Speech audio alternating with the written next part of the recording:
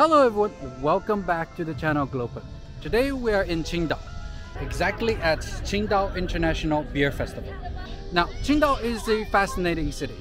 It actually has been built by the Germans more than 100 years ago. So in this video, we are going to go through German architecture, history, the German posts, the German pharmacies, as well as the most important German beer.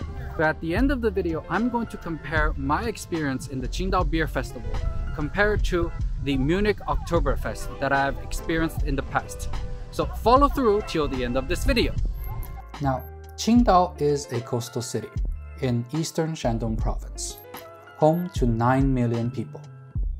It is a commercial center and has the highest GDP of any city in the province but the history of Qingdao began to be known by people only after it was occupied by the Germans in 1897. After the Juye incident, when two German missionaries were killed, Qing dynasty was forced to concede the area to Germany. The city was developing under the German occupation until 1914, taken over by the Japanese after Japan's declaration of war on Germany during World War I. During those 15 years, various infrastructure systems have been built. We can find the history within the various museums in Qingdao, from the post office, telegraph, and telephone systems, to railway across the region, and even German Hochschule. Though colonialism always implies exploitation and can lead to many conflicts. It is also true that the Germans did build a well-planned city during its colonial period. There was a long-standing rumor known by many Chinese that the sewers in Qingdao, built by Germans, are still operational. When some of the inner fittings needed to be replaced, they found that the company that originally built it. When contacted, they pointed to the concealed location for spare parts, which were ready to be used.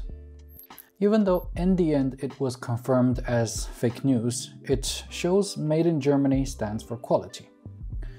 Today, we still can find a few buildings with German traces that has transformed into popular tourist attractions around the city.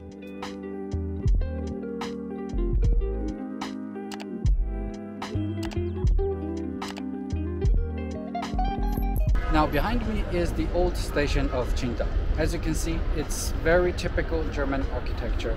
Even the current train station in the city center mimics the same style of the original station built by Germans a hundred years ago. Now behind me, this magnificent building is the residence of the German governor at that time. Today, it serves as a museum, but more than a hundred years ago, it was the residence of the governor and his family.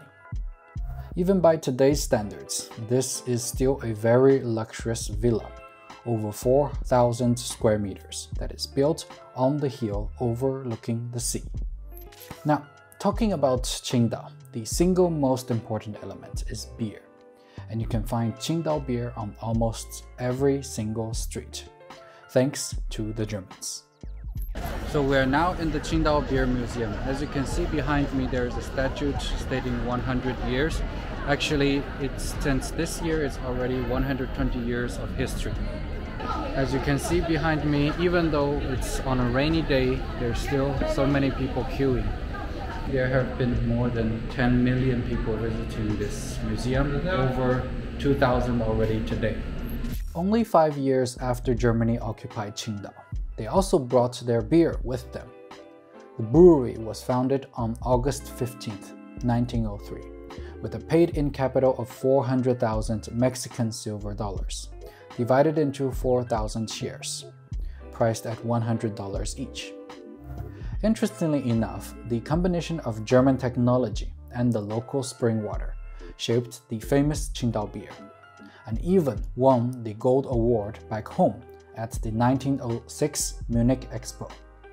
120 years ago, the brewery only had a capacity of 2,000 tons a year, and they only produced Pilsner and Munich dark beer.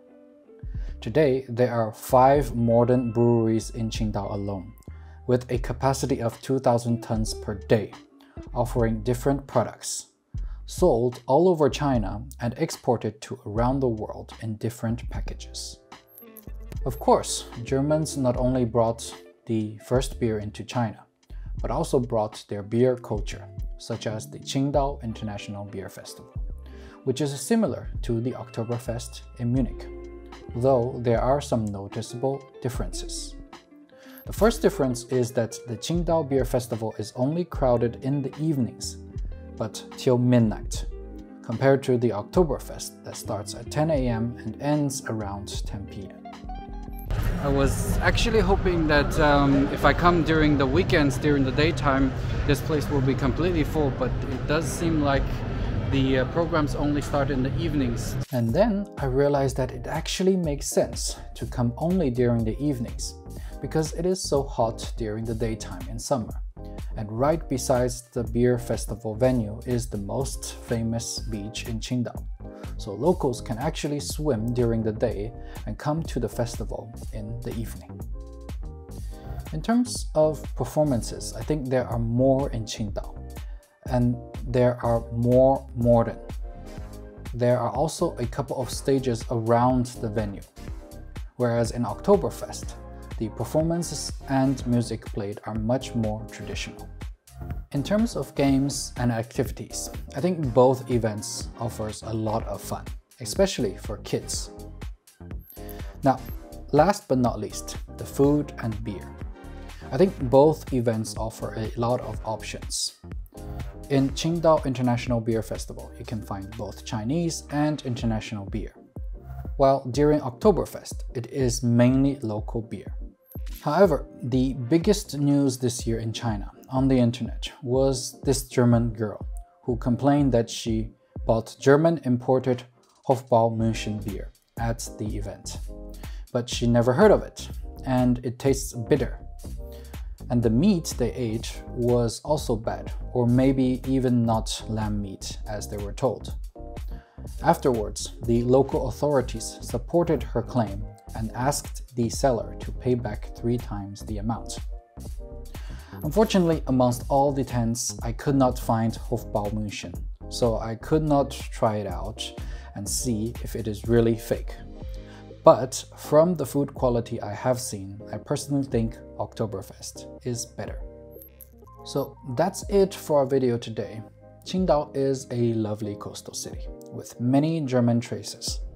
But the beer festival still has a long way to go to attract more tourists like Oktoberfest. If you have any comments, questions, or topics that you would like to discuss in our next videos, feel free to comment in the section below. Here at Glopen, we inspire learning, exchange, and business. Thank you so much for watching, and see you in the next video.